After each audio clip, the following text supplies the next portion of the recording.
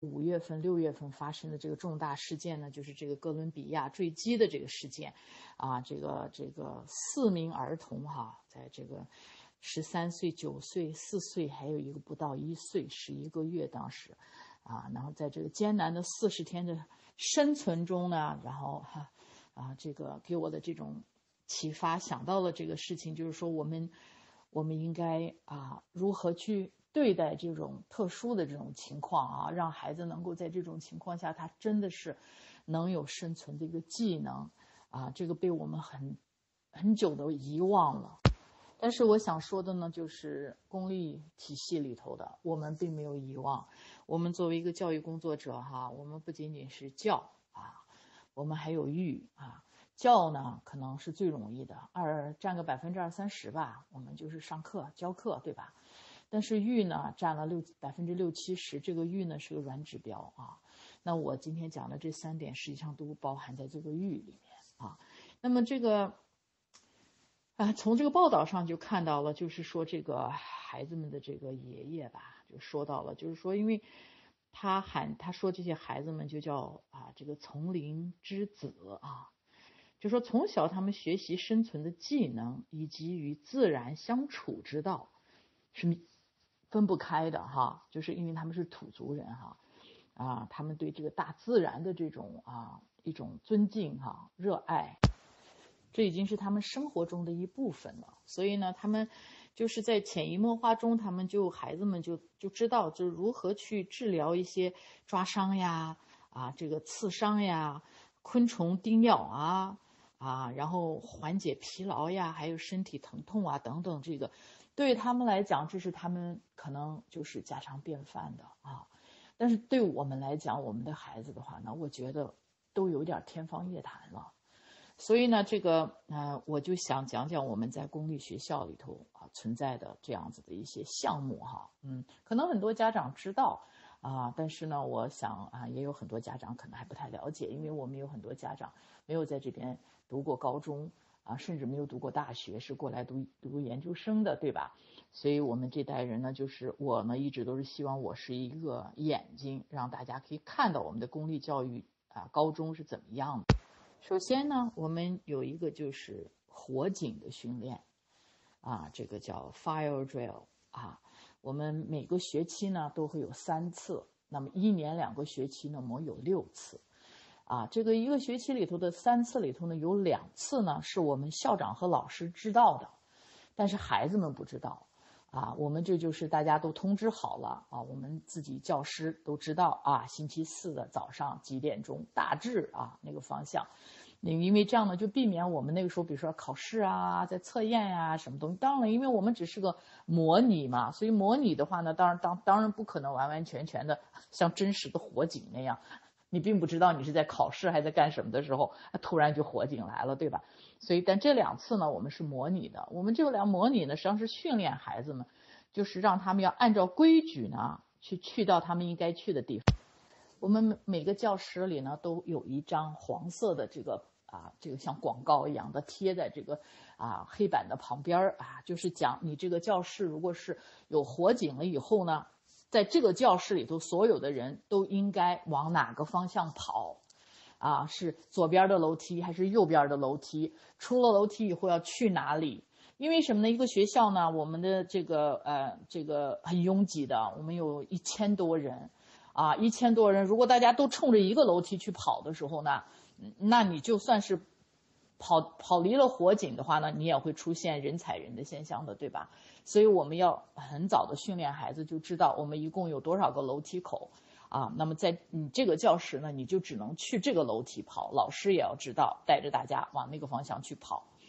啊。那么还有一次呢，就是由这个啊这个校外执行，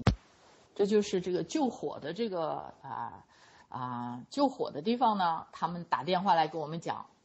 啊，现在火警了，是这样子的，所以我们校长也好，老师也好，我们都不知道，都不知情。而且这个第三次的这个呢训练呢是啊，这个火警车会开来以后呢，他要来查询的，看我们能不能过关，就是说在多长时间之内，我们的孩子能够啊跑到指定的这个地点，比如说啊这个后后院的这个草坪上，要远离这个学校的这个建筑物啊，因为里头起火了嘛，对吧？会爆炸呀等等，啊，所以就是第三次的话呢，就是非常接近模拟，因为我们不知道是怎么回事，就非常接近事实的一种模拟，啊，所以我们每年都要做啊，就是啊六次哈。啊，这个呢非常重要啊，这个非常重要的，因为啊虽然是和平时期，但是什么情况都可能发生啊，甚至我们的很很详细的就是我们在走的时候跑出去的时候呢是不允许学生，啊。去拿他要拿的东西，书包这些都不能拿，甚至衣服都不能够拿，因为他们的很多东西是放在他们的，呃储储衣柜里头的，都不能去拿。就那个时候就是要往外跑哈，不管天外面多冷，你在里面穿个 T 恤衫，你都得往外跑。嗯，而且呢不能锁门，嗯，因为什么呢？你不能锁门，就是因为这个，嗯，救火员的话呢要方便人家进来啊，这个进到教室里来救火，对吧？等等很多的细节哈。所以呢，我觉得这个呢，啊，这个就是想跟大家分享一下，就知道我们确实是有这方面的这种训练。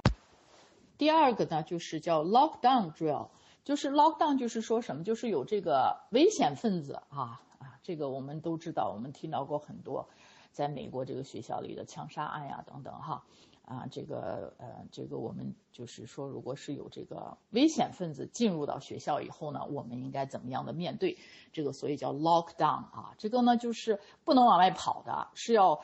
赶紧锁门，嗯，躲在屋子里头，躲在靠窗越来越远的地方，让外面看不见里面的地方啊，就是这样子的。啊，虽然在我在在我任教的这。将近二十年，我们从来没有遇到过真实的这个现象。但是我自己啊，我自己在做学生的时候，我是亲身经历过这个啊。就是我在啊这个 McGill 读研究生的时候，啊，也许大家知道啊，这个一九八九年的时候呢，就是有一个这个啊枪杀案啊啊，当时呢就是有有十多个女性吧，被被被杀死了。啊，就是一个呃，这个危险分子，就是对妇女有有这个有意见，然后就拿了枪。这个大家肯定都知道的哈，因为这么长时间了，二十多年了，每年都会要有有纪念活动哈。当时呢，我呢就在这所学校的旁边啊，这个这个 Polytech 呢就离我们呃 McGill 呢非常的近。啊，因为这个这个恐怖分子呢，要杀的就是学工程的女学生，那呢，我就是在这个范围里头，因为我当时是在学工程啊，我是土木工程师嘛，啊，这个我也是个女性啊，所以啊，当时就是真的是虽然没有亲身经历在那个学校里，但是就在我们的旁边，所以后来呢，我们啊，这个有一个多星期都不敢到学校里去，因为。怕有人去复制这样子的，啊，所以那个那一个多星期的话呢，可能是我人生中最恐惧的，啊，那段日子哈，就是真的现在都不太敢想啊，就是这样。所以我是自己有过这样的体验啊，嗯，啊，那我们在学校里做这个 lockdown 的时候，也是有很多的规矩的哈，比如说我们都有暗语的，因因为你不能大喇叭说有恐怖分子进来了，对吧？你不能这么说。啊，所以我们有各种各样的跟学校有关的这个暗语，而且经常这个暗语呢还会有一定的时候有点变换啊，比如说啊，就是说，嗯，这个犯罪分子他不会理解不懂的，但是我们老师 是明白是怎么回事情的，啊，然后我们啊，我们老师就知道该怎么做了哈，比如说的啊，就是说，哎，那个我们现在需要一个什么什么样的嗯。打印机的什么什么玩意儿的，反正就说一个这样子跟教学有关系的啊，我们老师知道，学生都不必不用知道，因为不能制制造大家的恐慌嘛，啊，完了之后我们就老师就知道该怎么样去做了啊，我们有一个专门的一个这个紧急的这个救急包啊，在里头有很多有颜色的这个图，这个这个。纸张啊，就是说，嗯，你在什么样的情况下，你在这个门门上锁了以后，把这个纸从门缝里头扔出去，啊，然后呢，这个，哎，就会给其他那个其他我们管理行政的这些老师什么东西就知道这个信号，啊，什么样的颜色是什么样的安全不安全，还等等等等，或者是你缺学生了，因为有时候学生要去上厕所呀。那不在你的班级里头，然后你要通过这种暗语呢，要传递给他们，就是说，哎，有学生，那我缺了几个学生，你学生去上厕所了，或者是干嘛去了啊？就是这样子的。所以等等吧，这个细节呢，我就不用在这里这样去分享，就是告诉大家呢，我们也要啊有这样各种各样的这种训练，就是一种啊这种求生的一种技能吧。嗯，还有最后一点，在这个这个这这个第一个问题里头的呢，就是我想跟大家分享的，就是我们在十年级、十一年级的时候，我们有一门课，啊，这个课呢是选修课啊，这个课的名称呢叫 Outdoor Education 啊，就是室外啊教育啊，其实就是生存教育哈。嗯，这门这门课呢是选修课啊，选修课呢它会教最基本的生存的技能，在这个你如果在森林里头丢失了呀，或者是你溺水了呀，或者是怎么怎么怎么，啊，很有理论的啊。然后呢，到最后学期快结束的时候呢，啊，这个这个班级的所有的啊学生和老师呢，就要一起去啊到这个北边的公园里头去啊，在那边大概是三天吧，野营三天啊。然后就还要带着船，要在那边划船，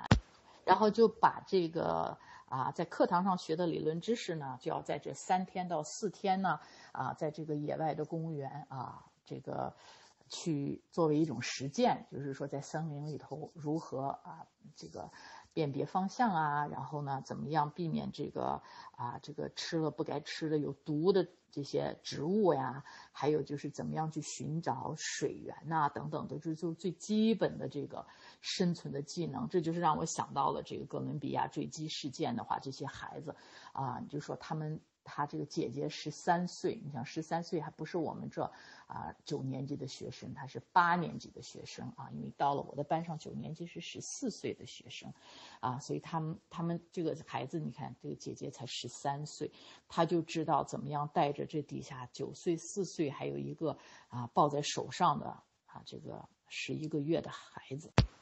去如何寻寻找啊这个干净的水源，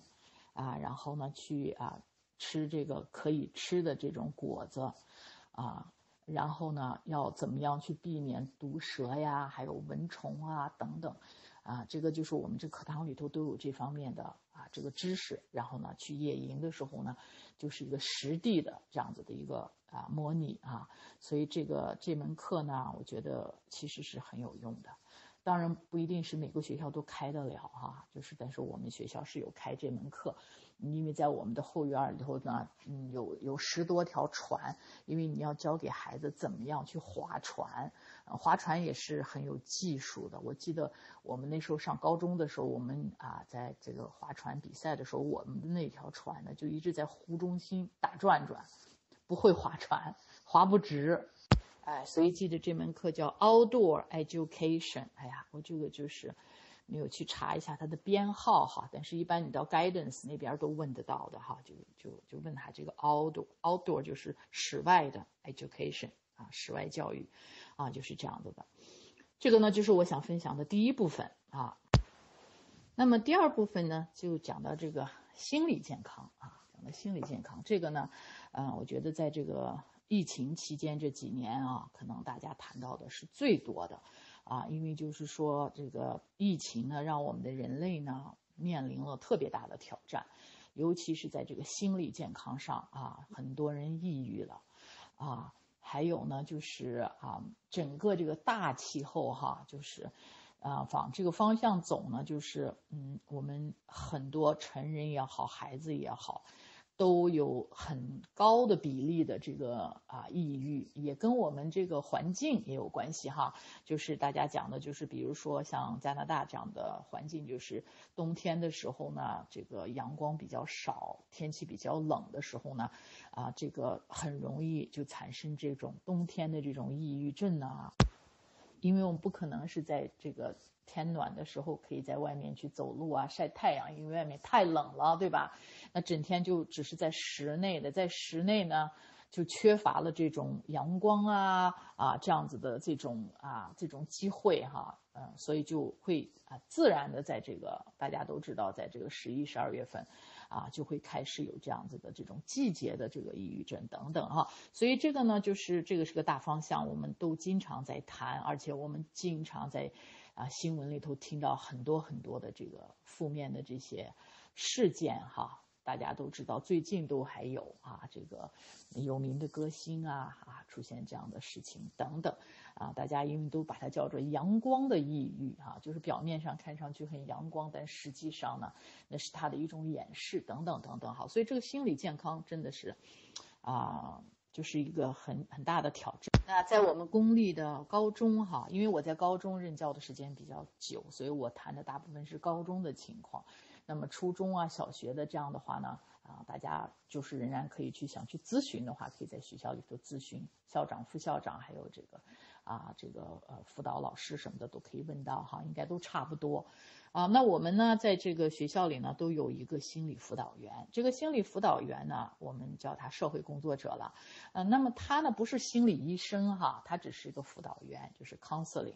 嗯，他不是只负责我们一个学校，他一般会负责两到三个高中，所以他五天的时间呢，他可能有两天在我们学校，然后剩下的两天在其他的学校，或者是三天在其他的学校等等哈。那么这个呢，他是在 guidance 啊，在 guidance 有他一个办公室啊，那么这个就是可以随时可以去预约的哈，可以跟他去了解专业知识。那我们任课老师呢，也会经常受到这种。啊，培训啊，我们会有受这个，就是在这个我们叫 P.D. Day 哈，Professional Development Day，就是这个意思，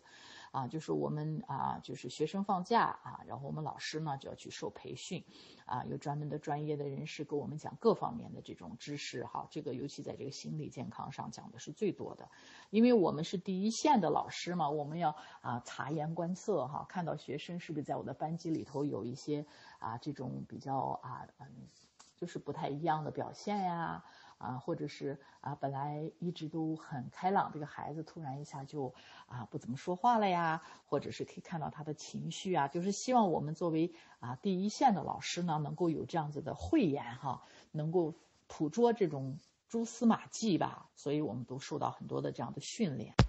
那么我们也会跟这个心理辅导员呢保持沟通。啊，比如说我们要如果如果我们发现了有啊有什么样的问题呢，我们就会去跟这个啊这个心理辅导员沟通啊咨询了解啊跟他们预约啊这样的时间或者跟父母亲沟通啊跟他们去预约等等。那么这个心理辅导员呢，他是可以上门服务的，他可以去到到这个家里头去去家里头啊像家访一样的这样子的哈。然后同时呢，我们在学校呢也有很多的这样子的啊这种啊啊。电话号码八零零的电话号码，告诉这个孩子，啊，老师啊，告诉孩子呢，就是说，如果有什么需要去投诉的，啊，有什么啊需要得到帮助的，但是又嗯不太方便跟自己父母亲沟通，或者是跟其他的人沟通，或者跟老师沟通的，那么就是用这个很隐非常有隐私的这个电话啊去讲，让他们能够放开心心扉。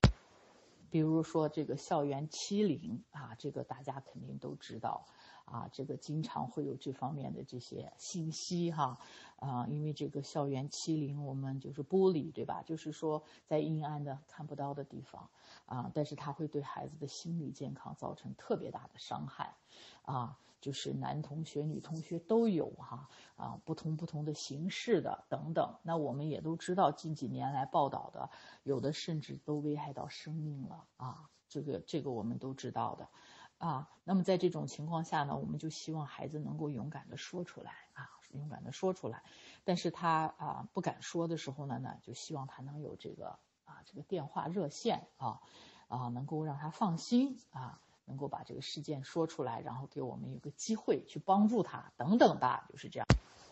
但是我今天想要讲的就是我们在学校我们尽了我们最大的努力了啊，但是呢，嗯。我们能做的真的是非常的有限，因为我们一个老师一个班上，我们三十多个学生，而且我们每次每天就只有七十多分钟在一起，对吧？啊，所以你能够还要去教你的啊，你的这个专业课，对吧？所以你能够了解到的就还是很小很小的，所以呢，就希望我们和家长呢，能够一起家长辅助，因为家长啊，毕竟你就只有这个儿子。或者你就这个女孩在我这个班上的，对吧？啊，那么那么你最了解了，所以你一旦发现啊有什么啊就是疑惑的地方的话呢，就跟老师及时沟通啊，去询问一下，让老师帮助你在学校里看看孩子是不是哎啊有了什么特别大的一个突然的一种变化呀，会不会有什么其他的这样心理的这种啊因素啊等等。啊，那我今天呢就想分享给大家一个电影啊，这个电影呢。啊，其实给我的帮助特别特别的大啊！这个电影呢是，啊，这个九十年代末的时候的啊拍摄的电影。当时我应该是在九九九九年吧，应该这个电影应该是九七年，啊上映的。但是九九年好像是九九年的话呢，就被评为了这个奥斯卡的这个外国电影啊这个最佳啊，都获了好多奖啊。这个电影的名名称呢就叫《Life Is Beautiful》啊。啊，美丽人生翻成中文，我发个我发一个剧照给大家看一看啊。嗯，可能很多朋友们都已经看过这个电影了哈，因为当时我看这个电影的时候，两千年，因为我知道它是奥斯卡获奖的，它是意大利啊，意大利语的，但是它有英文的这个字幕的，对吧？所以它是外国电影获奖的，啊，那么我当时就啊，就选择这种奥斯卡获奖的电影去看哈，我就无意中就看到这个电影。然后我就特别受启发。这二十多年哈，我经常我家里买了这个的 CD，我经常会会去看啊。那么我没有把它当成一个战争片去看，我是把它作为一个一种对我的一个作为老师的一个教育哈。那我这可能要稍微剧透一下哈，如果没有看过的啊，我真的建议呢去网络上搜索一下，都因为有这个免费的这个现下载的这种电影去看哈。那么这个呢，它它虽然是个战争片。但是它是用一种喜剧的方式表表现出来的哈，所以是非常有争议的一部片子，因为啊就觉得很多人是持反对意见的。但是我在看这部片子的时候，我没有去把它当成战争片看，我只是想啊，嗯，这个影片里头这个父亲他用了他所有的技能，保护好他的这个儿子，在这个纳粹的这个集中营里。保护好这个孩子，他他用一个游戏的这样子的说法，让孩子认为这是一个游戏啊啊，所以呢，能够保护这个孩子的心理的健康。那么我呢，就是我今天想分享这个的时候，就讲的就是说，我们要如果想保护我们孩子的心理健康，不是说随便嘴上说一说啊就可以做到的，而是真的需要有技能，我们要有智慧。所以我看这部片子的时候呢，我受到的很多的启发，是看到这个父亲他的智慧，他能够在各种各样的情况、紧急的情况下呢，他能够急中生智，能想出一个办法来，啊，保护好孩子的这个生理、心理健康。这点特别不容易，所以呢，啊，就是他不是说一说我爱你啊，我爱我的孩子，我爱我的太太，而且他确实真的是把他的爱倾注到他的这个技能上，他用他的这个智慧，用这种方法，能够从行动上保护了他们。所以我真的是建议啊，嗯，没有看过的这部电影的啊，这个家长们啊，找机会去看一下。啊，因为我当时呢，啊，那个二零零零年看这部片子的时候，其实我也是特别的，当时在孩子的教育上，我特别的迷茫，啊，我不知道该怎么办好，所以这个父亲给了我很多的这个激励，所以让我后来的这么多年走下来的时候，我都是努力的啊，去去寻找这种技能啊，去寻去让我自己的智慧能够更加的提高，所以我能够有行动。啊，去爱我的啊女儿，保护好她的这个心理健康。同时呢，我作为一个老师，一个教育工作者，啊，这个父亲也给我了这样的启发，就是我在课堂上，我也要有智慧的啊，去帮助孩子，有智慧的去跟孩子沟通，而且呢，嗯，我的我的这个课堂的用语，我的手势等等呢，都要给孩子一种啊这种啊。不伤害孩子的这种为主题哈，我们受到过很多的培训，就是说我们在用语言的时候啊，如何去跟孩子讲话，这个很重要啊。有的时候说者无意，听者有心，甚至这个手势啊，这个手势就是嗯，把手心朝上啊，就是接受孩子的样子，然后你如果是手背朝上的话呢，就是把别人把对方推开的这种样子，所以这个给对方的感觉是不一样的。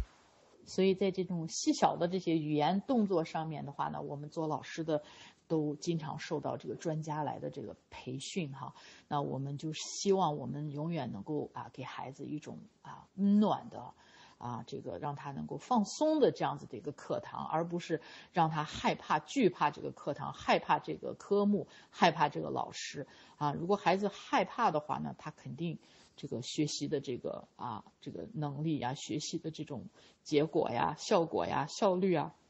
都会受到负面的影响，对吧？哎呀，所以呢，这个问题哈，啊，也就是我们做老师的和家长的一起要去努力的。啊，都要去接受这个挑战的，因为我知道有的时候跟啊做家长会也好，有的时候跟家长们沟通的时候，经常就会啊听到家长有说，就是说我真的是不知道该怎么办好了，我我这个我想做，但是我不知道该怎么样去做啊，然后或者就是说我学校里的情况，孩子回来都不愿意跟我们说，我真的不知道他在学校里是什么样的情况等等。这个肯定是有挑战的，但是呢，我相信我们都是深深的爱着我们的孩子的，所以呢，你就不管怎么说，你都要去寻找啊这个方法，就提高自己的这种智慧啊，学到这种技能，然后去保护孩子啊，然后呢就是去辅助他啊，陪伴他，而且我们也真的知道啊，你生大宝和二宝啊，三宝。每个孩子都是独立的，都不一样的。可能是在大宝身上用过的办法，啊，你就没有办法用在二宝身上。这个我们都都知道的，因为每个孩子他都是他特定的一个，所以你永远是第一次去做这个孩子的父母。不管你有几个孩子，你过去受过什么样的这个。锻炼哈，培训有经验了，但是最后的话，你发现每个孩子，你都是第一次、唯一的这次去做他的父母，所以你永远都会有挑战的。但是呢，我觉得这可能就是人生吧，我们就是这样子陪伴着孩子，啊，跟孩子一起啊，这个成长哈，啊，那么就是只要是你有这个有心，啊，你用心，啊，你总是可以啊，去一步步的靠近你想要达到的目标的，对吧？在我任教的这个将近二十年的这个心路历程里头呢，啊，我也受到过很多的这样的啊这种打击，有很多的遗憾和后悔哈，啊，因为我有啊我有啊这个学生呢，啊他是这个自杀的啊，那我有学生呢是毒品用过度呢，嗯这个暴死在街头的，然后登到这个报纸上，然后我一眼就认出来这是我曾经的学生。那我也有学生呢，这个刚刚高中毕业没有多久的时候，在自己的这个啊租的这个房间里头被别人枪杀了的，所以这些事件呢，就是会给我带来很大很大的阴影哈。我总是觉得，如果我能够啊做一些什么事情，是不是我就可以避免哈？这没有办法的啊，这个我们人生都是这样，没有这样完美。也正是因为我有过这样的经历啊，所以我会更加的提醒自己，就是说，啊，我能够做得更好啊，没有最好，但是呢，会有更好，我能一次比一次做得更好，啊，我能及时的去发现问题，我能及时的去寻找啊，我们学校能够提供的教育局能够提供的这种帮助，我能及早的跟家长沟通，等等等等吧，就是这样的，所以我们只有努力，然后做得更好。啊，就是减少啊未来的遗憾啊，就是这样，我们只能这样去做哈。啊，那么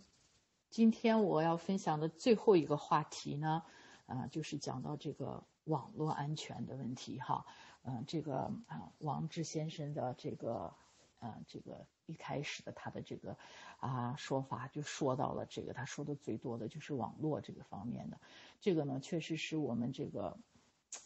啊，这近二十年最大最大的挑战哈，最大最大的挑战。我呢是，啊，二零零三年改行啊，这个开始做这个安省的这个小学、初中、高中的这个老师的。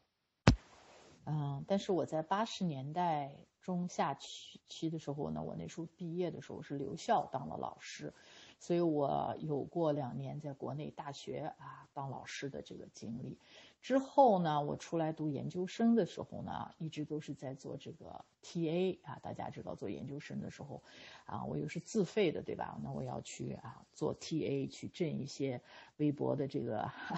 啊，可以补助自己的这个生活费用的哈。所以就是，那么 TA 呢，实际上有的时候我们也承担了很多的教学的任务哈，就是在大学里头跟学生互动啊。啊，然后辅导他们的功课呀，等等，啊，所以我有过就是八十年代和九十年代初啊一点点的教学经验。之后呢，就是到了二零零三年，啊，那么从二零零三年到现在呢，这二十年呢，我觉得都每五年都是一个很巨大的变化。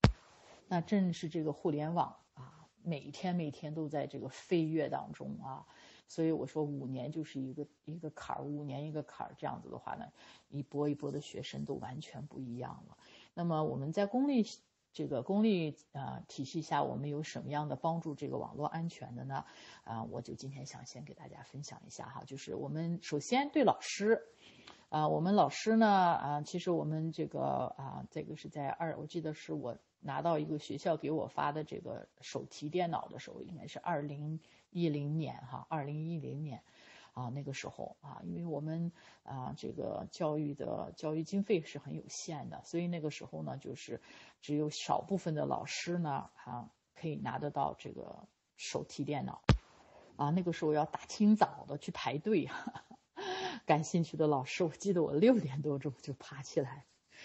到学校这个网络上面去排队，因为我我想拿一个手提电脑哈，因为就是会有很多的比我的这个啊桌上的这个这个这个电脑呢要设备要新很多哈，所以我六点钟就跑到学校去排队，所以很幸运我就我就排队呢我就拿到了这个手提电脑，但是但是呢拿到这个手手提电脑之前能够去排队的时候呢，我们就必须要去上三门功课。啊，就是啊，这个网络的上面去上这个这些课程。那么我记得最清楚的，那第一门课呢，它就叫 Digital Citizenship，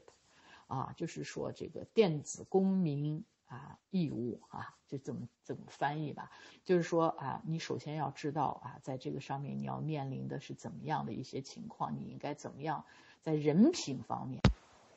作为一个电子公民啊，你的应尽的责任是什么样的？你要怎么样的去保护你自己，也要避免去给别人造成伤害，然后你又怎么样保护自己不受到别人对你的伤害等等。所以我们那时候要上这个这门课，然后之后还要上三门课。上完这三门课毕业了以后呢，你才有资格去排队，还要大清早去排队去拿这个手提电脑哈。后来当然到现在的话呢，就啊这个资源越来越多了。啊，这个老师就不用那么辛苦的要去抢，要大清早去排队啊，这样子。所以基本上老师都人手都会有一个了。但是呢，我们仍然要去上这个三门这样子的课的哈，就是说你要知道怎么样去保护自己啊，然后你知道怎么样去教育学生。那对于我们学生来说也是一样的啊，因为我们后来也给啊这个 Chromebooks 啊，就是那种平板电脑的，我们也。啊，发给学生人手一个了，从初中就开始有了啊，这也就是近五六年的事儿吧。所以他们都要去上同样的这门课，就是叫 Digital Citizenship 啊，这个电子公民、电子公民学哈，他们也都要去上这门课，就是啊，告诉他们应该是什么样的情况，在什么样的情况下应该怎么怎么样，从理论方面。但是呢，你知道理论和实践差别还是蛮大的哈啊，那么。我们这个公立教育局，我们的网站呢，都啊有很多的防火墙啊，这就是因为很多的社交平台呢，在我们学校，在这个学校里头是没有办法用的，像什么面书啊等等等等的这些都不能很容易用。很多的时候呢，其实我们教学的时候是非常不方便的，因为有的时候我们需要下载一些小视频呀，或者是有一些 A P P 呀，比如说我教数学的啊，上面这些都。很很就是很多时候是不能够用的，然后我们都会有一个完整的系统，我们要递交申请啊啊，然后呢由我们的这个 IT 的这种部门呢查询了以后呢，允许放开给我们用，而且有时间限制的。比如说你可以用啊十五天，或者你可以用三十天，然后你要再去延续等等等等哈，就是说严格的这种防火墙。但是哈，就我们所说的这个道高一尺，魔高一丈。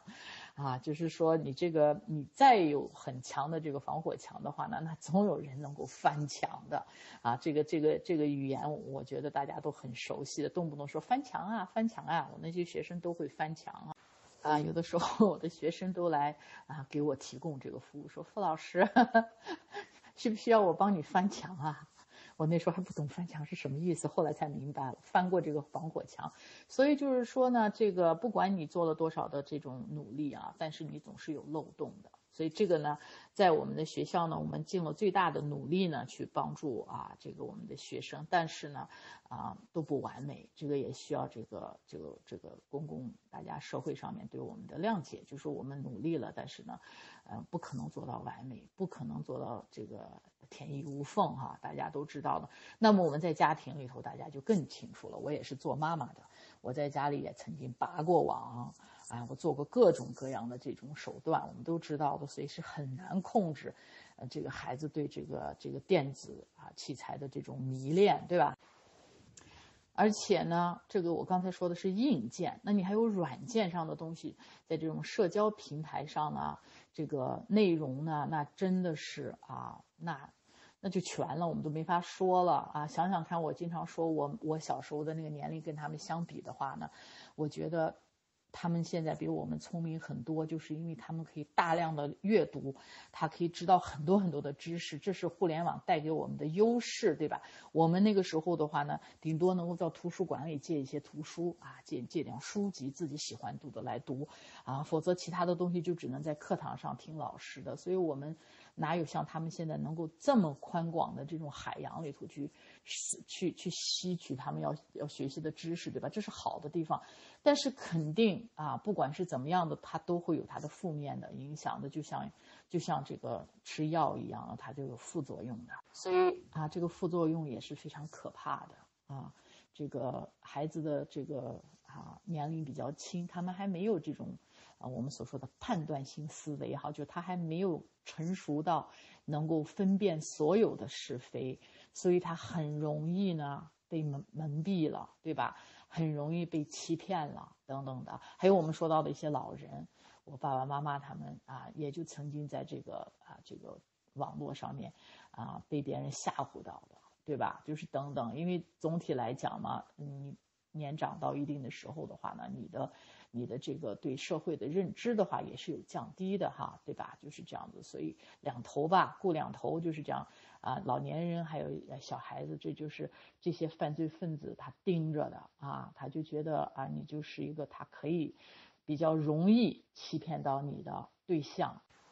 所以我们在学校做了很多的努力，但是我们是真的是很有限的。那么这个就是啊，家长朋友们在家里的时候呢，这个也是啊，我觉得是一个很大的挑战哈。这个每每在一起聊聊天，你看多少文章都讲这个迷恋电子游戏也好，迷恋手机的这种社交也好，还有在社交上面啊被这个被欺凌了啊，对不对？然后这个等等，我们曾经也有过这个啊，这个还有这种很多啊负面的这样子的。呃就是事实的报道，对吧？我们就会很紧张，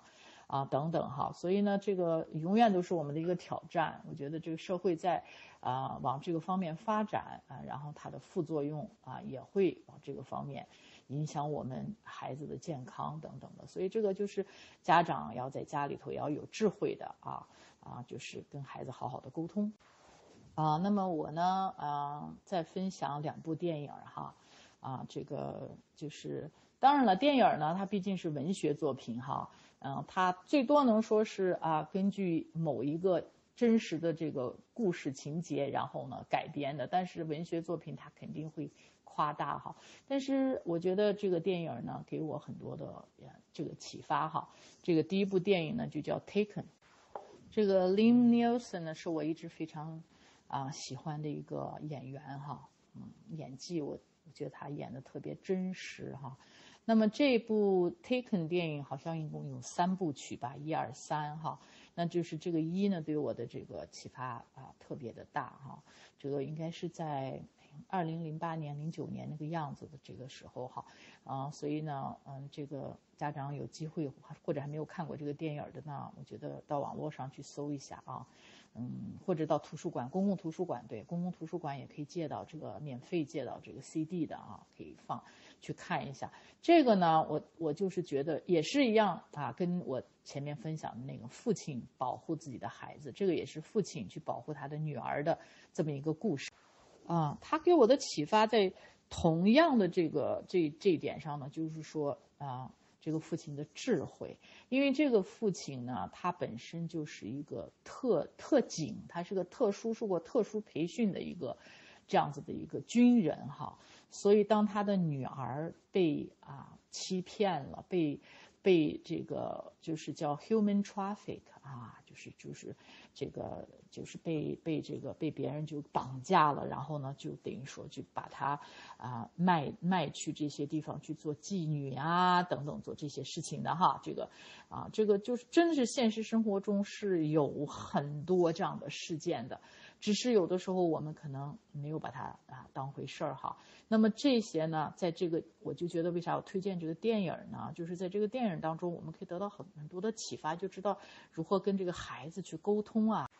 所以呢，啊，这个网络世界呀，很多的时候孩子在网络上认识了陌生人，然后他会在现实生活中去跟他们见面呀，等等啊，这个真的是非常的危险。所以我们做家长的一定要啊，保护好跟孩子的沟通的这个渠道，让孩子至少呢，他会啊跟父母亲来交流啊，有质量的陪伴孩子。哪怕是在饭桌上一顿晚饭上面的一些沟通等等，让孩子能够敞开心扉的跟你去沟通啊，这个太重要了啊，太重要了。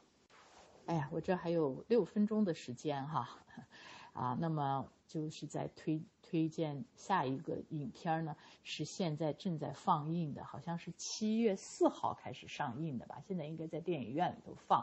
啊，我还没有机会去看啊，我就是想看下个礼拜是不是还有机会啊，还在放的话，我想去看。如果呢，如果电影院没放了的话，那我就等着他们能有 CD 出来的时候，我再去借来看哈。这个电影呢就叫《Sound of Freedom》。哎，这个但这个电影的男主角呢，也是我非常欣赏的一位演员哈，看过他的很多电视剧啊，这个这个等等哈，所以呢，啊。这部片子呢，我也是在这个网络上看到大家这个这个评论的啊，议论的很多很多的。因为这部电影呢，我也不是特别了解，因为我想自己去看，但是我就知道呢，这部也是。啊，就是小孩子被拐骗了，等等等等的这样的事件，啊，那么这个男主角呢，他就是去救这些孩子的这么一个故事，所以我相信呢，像这样子的电影呢，虽然是他看上去会让大家心情非常的沉重哈，但是我相信通过这样的电影呢，我们可以学到一些知识，我们可以学到一些技能，就是说在这种啊 crisis，就是这种。紧急事件发生的时候，我们作为成年人，我们如何去保护孩子啊？啊，因为我们不能去抱怨孩子，就是说，哎，你你你怎么会这么容易相信别人呀？你怎么会这么不注意呀？啊，为什么人家的孩子没有这样？为什么就你就被人家欺凌了呢？那人家那孩子就为什么没被欺凌呢？我们很多家长会这样子去想，对吧？嗯，我觉得这个呢，这个是。特别不好的一个方法，因为比如说孩子已经被欺凌了，孩子已经被受到伤害了，那我们做成人，做父母亲的，我们应该知道怎么样去帮助他们，啊，去解决这个问题，而不是去抱怨啊，去抱怨就是说凭什么呀？人家家孩子怎么就比你要呃这个呃强壮一些？你怎么意志力就弱一点？等等等等哈。但我们如果不想我们的孩子弱的话呢，那我们就要用其他的办法去帮助他、辅助他，啊，这个我我有时候就想，就是说去啊参加一些这样子的体育锻炼、体育活动的，啊，就是这种什么什么这种跆拳。跆拳道啊这样的，因为他他他给你一些技能啊，还有这个女子防身术啊，就我女儿都去参加过这样子的科目，我也自己也去参加过这样的科目，因为你必须要有技能，你知道在这种特殊情况下的话呢，什么样能够让你能够啊救命啊，这就是生存的技能，所以。我的这三个方面的分享看上去好像是分散的，但实际上呢，我觉得它都是啊，在间接的关联在一起。就是说，一个求生的技能，因为怎么样在网络世界里啊，你能够啊，能够求生存啊，不被别人伤害啊，不被别人蒙惑，不被别人欺骗。这个我觉得是同样的，你如果啊，这个在森林里头啊走失了，你怎么样能够生存？怎么能让自己活下去？啊，然后这些心理的健康，在心理健康的这种看不见摸不着的这种世界里头，你如何能够生存下去？这些都需要技能啊，然后这些呢，我们都要去培养我们的孩子，要有这样的意志力，然后要去面对人生中的这些挑战。哎，最后的这一分钟吧，就是想，真的是我每次都想到这个哦，去受培训的时候，这个心理医生经常跟我们讲的这些话呢，就是说，啊，如果如果一个孩子他能有一个很幸福的童年时代，那他这个的幸福呢，会跟随着他一直是会去面临他将来未来生生活当中面对的一切挑战。但是如果你有一个非常阴暗的、非常不快乐的这个儿这个童年的话，你会用你未来的一生去弥补、去治愈啊你的这个童年。所以你看，让孩子童年的这个快乐、欢乐是多么的重要啊！我们一起努力。好的，谢谢大家的聆听啊！这个现在正好十点钟，所以我完成了我今天所有的分享。啊，谢谢大家关注教育啊，我们一起努力。最后，祝大家周末愉快啊，暑假愉快。那我们下一次的啊这个活动再见，谢谢大家。